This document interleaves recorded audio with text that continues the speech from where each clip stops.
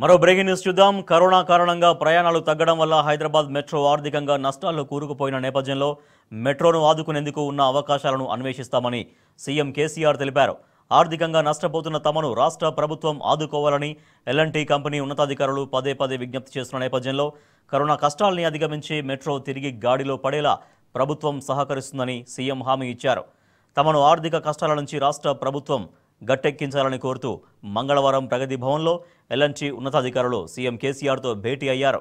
Corona కాలంలో metro ఆర్థిక నష్టాలను బ్యాంకు అప్పులు రోజురోజుకు పేరుకుపోతున్న వడ్డీల వివరాలను సమావేశంలో చర్చించి తమను రాష్ట్ర ప్రభుత్వం తక్షణమే ఆదుకోవాలని విజ్ఞప్తి చేశారు.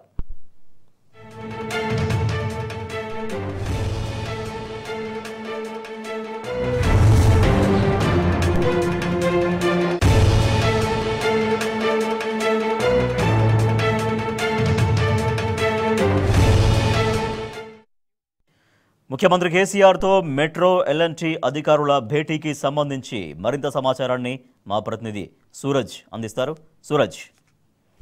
రాజేష్ కరోనా నేపథ్యంలో ప్రయాణాలు తగ్గడం వల్ల హైదరాబాద్ మెట్రో ఆర్థికంగా నష్టాల్లో కోరుకున్న విషయం తెలిసిందే. మెట్రోను ఆదుకునేందుకు ఉన్న అవకాశాలను అన్వేషిస్తామని చెప్పేసి ముఖ్యమంత్రి కేసీఆర్ ఇవాళ తెలిపారు. ఆర్థికంగా నష్టపోతున్న తమను ప్రభుత్వం ఆదుకోవాలని చెప్పేసి ఎల్ఎన్టీ కంపెనీ ఉన్నతాధికారులు పదే పదే విజ్ఞప్తి చేస్తున్న విషయం తెలిసిందే. కరోనా కష్టాలను అధిగమించి మెట్రో తిరిగి గాడిలో పడేలా ప్రభుత్వం సహకరిస్తుందని చెప్పేసి ఎల్ఎన్టీ ఉన్నతాధికారులకు ఇవాళ ముఖ్యమంత్రి కేసీఆర్ హామీ ఇవ్వడం జరిగింది. తమను ఆర్థిక నష్టాల నుంచి ప్రభుత్వం ఆదుకోవాలని కోరుతూ ఇవాళ ప్రగతి భవన్లో ఎల్ఎన్టీ ఉన్నతాధికారులు ముఖ్యమంత్రి కేసీఆర్తో భేటీ అయ్యారు. కరోనా కాలంలో మెట్రో ఎదుర్కొంటున్న ఆర్థిక నష్టాలను బ్యాంకు అప్పులు రోజు రోజు పెరిగిపోతున్న వడ్డీల వివరాలను సమావేశంలో చర్చించి తమను రాష్ట్ర ప్రభుత్వం తక్షణమే ఆదుకోవాలని విజ్ఞప్తి చేయడం జరిగింది. ఈ సందర్భంగా ముఖ్యమంత్రి కేసీఆర్ కూడా మాట్లాడారు.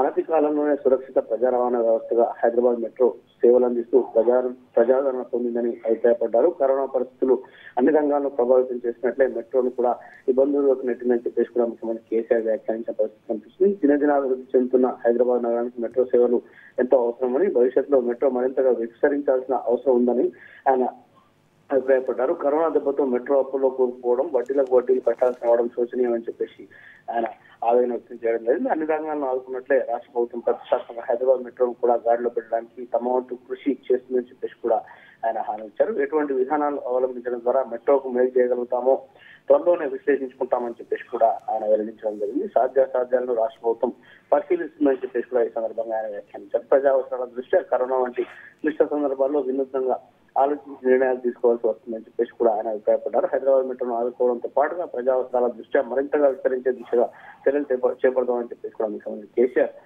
వెల్లడించడం జరిగింది. ఇందుకు గాను విస్తృతంగా చర్చించి పూర్వాపరాలను పరిశీలించి ఏ విధానం అవలంబించడం ద్వారా మెట్రో పూర్వ వ్యవసాయాన్ని తీసుకురాగలమో అవగాహన కోసం ఒక అత్యున్నత స్థాయి కమిటీని ఏర్పాటు చేస్తున్నట్టుగా కూడా ఈ సందర్భంగా ముఖ్యమంత్రి కేసీఆర్ ప్రకటించారు. ఈ కమిటీలో మున్సిపల్ శాఖ మంత్రి కేటీఆర్ అలాగే రోడ్లు భవనాల శాఖ మంత్రి వేముల ప్రశాంత్ రెడ్డి ప్రభుత్వ ప్రధాన సలహాదారు రాజీవ్ శర్మ ప్రభుత్వ ప్రధాన కార్యదర్శి ఉమేష్ కుమార్ ముఖ్యమంత్రి principal secretary Narasimharao finance special chief secretary Ramakrishnarao MIUD special chief secretary Arvind Kumar పరిశ్రమ శాఖ ముఖ్య కార్యదర్శి జయేష్ రంజన్ ఉంటారని చెప్పేసి కూడా ముఖ్యమంత్రి తెలియజేయడం జరిగింది.